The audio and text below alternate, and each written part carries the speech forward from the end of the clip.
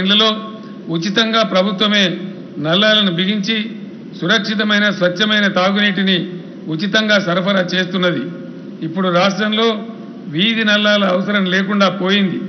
మహిళలు బిందెలతో వీధి వీధి తిరగాల్సిన దుస్థితి తొలగిపోయింది.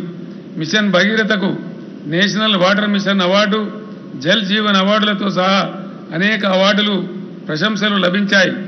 తెలంగాణ ఫ్లోరోసిస్ రహిత రాష్ట్రంగా మారిందని కేంద్ర ప్రభుత్వం పార్లమెంటు వేదికగా ప్రకటించింది. దళితుల నుంచి బ్రాహ్మణుల వరకు సమాజంలోని అన్ని వర్గాల పేదలకు సంక్షేమ ఫలాలను అందజేస్తూ తెలంగాణ సమ్మిళిత అభివృద్ధిని సాధిస్తున్నది. తరతరాలుగా పేదరికంలో మగ్గిపోతూ వివక్ష గురవుతున్న దళిత జాతి స్వావలంబన కోసం ప్రభుత్వం తెలంగాణ దళిత బంధు పథకం అమలు చేస్తున్నది. ప్రపంచంలోనే అతిపెద్ద నగది బదిలీ పథకంగా దళిత బంధు దేశానికి దిక్సూచిగా నిలిచింది. ఈ పథకం ద్వారా ప్రయోజనాలు అందుకున్న కుటుంబాల విజయగాథలు నేడు దేశమంతటా ప్రతిధ్వనిస్తూ ఉన్నాయి. దళిత కుటుంబం తమకు నచ్చిన వచ్చిన వృత్తి లేదా వ్యాపారాన్ని చేపట్టడం కోసం చరిత్రలో ఎన్నడూ లేని విధంగా పది లక్షల రూపాయల భారీ ఆర్థిక సహాయాన్ని నూటికి నూరు శాతం గ్రాంట్గా ప్రభుత్వం అందిస్తున్నది. ప్రభుత్వ లైసెన్స్తో చేసే లాభదాయక వ్యాపారాల్లో దళితులకు పదిహేను శాతం రిజర్వేషన్లు కల్పిస్తున్నది. లబ్ధి పొందిన కుటుంబం ఏదైనా ఆపదకు గురై ఆర్థికంగా కొంగి కుంగిపోయే పరిస్థితి వస్తే ఆదుకునేందుకు ప్రభుత్వం దళిత రక్షణ నిధిని సైతం ఏర్పాటు చేసింది.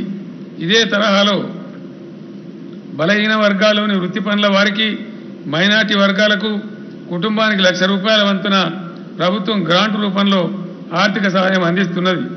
దేవాలయాలకు ధూపదీప నైవేద్య పథకం కింద అందించే మొత్తాన్ని ప్రభుత్వం ఆరు వేల నుంచి పదివేల రూపాయలకు పెంచడంతో పాటు ఈ పథకం వర్తించే ఆలయాల సంఖ్యను కూడా పెంచింది. ప్రభుత్వం గ్రామీణ ఆర్థిక వ్యవస్థను బలోపేతం చేయడం కోసం గొల్ల కుర్మలకు భారీ ఎత్తున గొర్రెల పంపిణీ మత్స్యకారుల కోసం చేపల పెంపకం వంటి చర్యలు చేపట్టింది. గీత కార్మికులకు ఈత తాటి చెట్లపై పనును శాశ్వతంగా రద్దు చేసింది. పాత బకాయిలు మాఫీ చేసింది. మద్యం దుకాణాల లైసెన్సుల్లో గౌడ సోదరులకు పదిహేను శాతం రిజర్వేషన్ అమలు చేస్తున్నది. రైతు బీమా తరహాలో గీతన్నలకు సైతం పైసా భారం లేకుండా ఐదు లక్షల బీమా సౌకర్యం కల్పించింది. నేత కార్మికుల సమస్యల పరిష్కారంపై ప్రత్యేక దృష్టి సారించిన ప్రభుత్వం వారి కోసం అనేక సంక్షేమ పథకాలను అమల్లోకి తెచ్చింది. నూలు రసాయనాలపై యాభై శాతం సబ్సిడీని అందజేస్తూ నేతన్నకు చేయూతనిస్తున్నది. గుంట మగ్గాల స్థానంలో ఫ్రేమ్ మగ్గాలు అందించడం కోసం తెలంగాణ చేనేత మగ్గం అనే కొత్త పథకాన్ని అమలు చేయాలని నిర్ణయం తీసుకున్నది.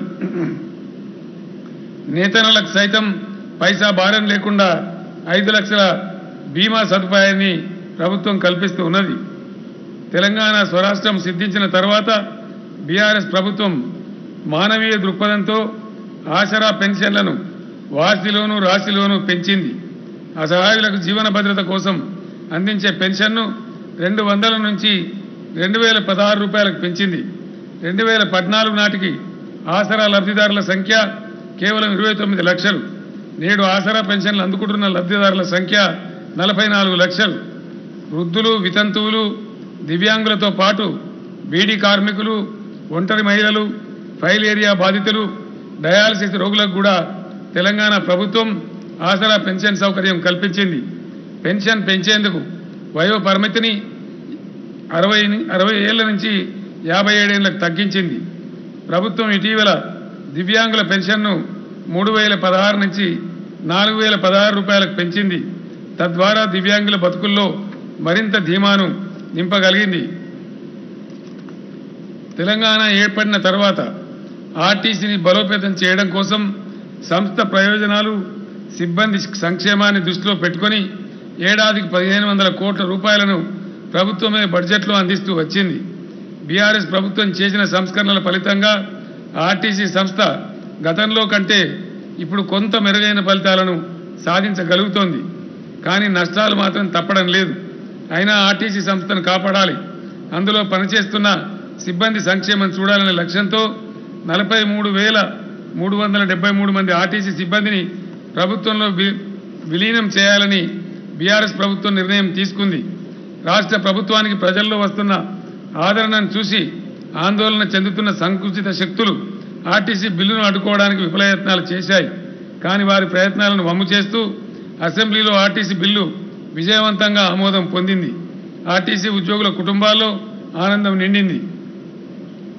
రాష్ట్రం ఏర్పాటయ్యే నాటికి తెలంగాణ ప్రాంతంలో కేవలం మూడే వైద్య కళాశాలలు ఉండేవి.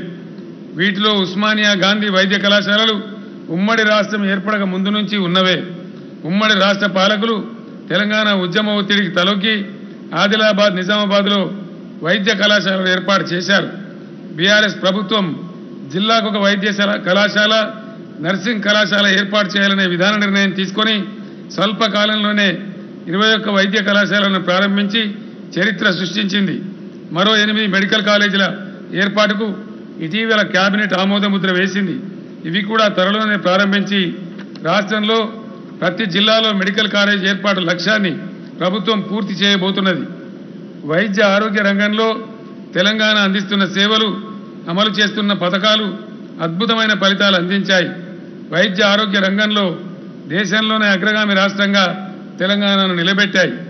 కోట్లాది మంది దృష్టిలోపాలను సరిదిద్దిన కంటి వెలుగు కార్యక్రమం ఉచిత డయాలసిస్ సేవా కేంద్రాల ఏర్పాటు ఉచిత డయాగ్నోస్టిక్ సెంటర్ల ఏర్పాటు కేసీఆర్ న్యూట్రిషన్ కిట్టు కేసీఆర్ కిట్ల పంపిణీ బస్తీ దవాఖానాలు పల్లె దవాఖానాల ఏర్పాటు మొదలైన కార్యక్రమాలు అద్భుత ఫలితాలను సాధిస్తూ యావత్ దేశానికి ఆదర్శప్రాయంగా నిలుస్తున్నాయి. పెరిగిన అవసరాలకు తగ్గట్టుగా హైదరాబాద్ నగరం నాలుగు వైపులా నాలుగు సూపర్ స్పెషాలిటీ ఆసుపత్రులు నిర్మించుకుంటూ ఉన్నాం. వరంగల్ నగరంలో పదకొండు వందల కోట్ల రూపాయలతో రెండు వేలకు పైగా పడకల సామర్థ్యంతో సూపర్ స్పెషాలిటీ ఆసుపత్రి నిర్మాణం శరవేగంగా జరుగుతున్నది. మరో రెండు వేల పడకల ఏర్పాటుతో నిమ్స్ను విస్తరించుకుంటూ ఉన్నాం. ఇందుకోసమై నిర్మించే నూతన భవనానికి ఈ మధ్య నేను శంకుస్థాపన చేశాను.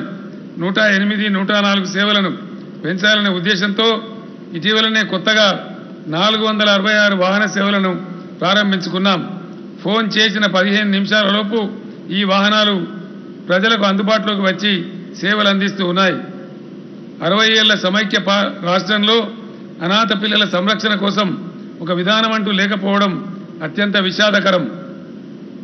పరిపాలనలో మానవీయ పరిమళాలు వెదజల్లుతున్న తెలంగాణ ప్రభుత్వం అనాథ పిల్లల సంరక్షణ బాధ్యతను సంపూర్ణంగా స్వీకరించింది.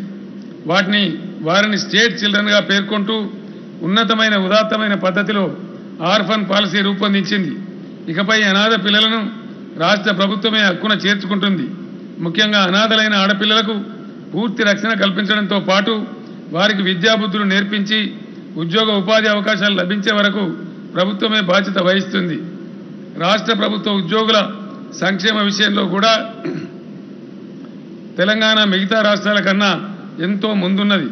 నేడు దేశంలో అత్యధిక వేతనాలు పొందుతున్నది తెలంగాణ ఉద్యోగులను ప్రకటించడానికి నేను సంతోషిస్తూ ఉన్నాను. రాష్ట్రం అవతరించిన వెంటనే ప్రభుత్వ ఉద్యోగులకు ప్రత్యేక ఇంక్రిమెంట్ ఇచ్చుకున్నాం. ఇప్పటి వరకు రెండు పిఆర్సీల ద్వారా డెబ్బై మూడు శాతం ఫిట్మెంట్ అందించుకున్నాం.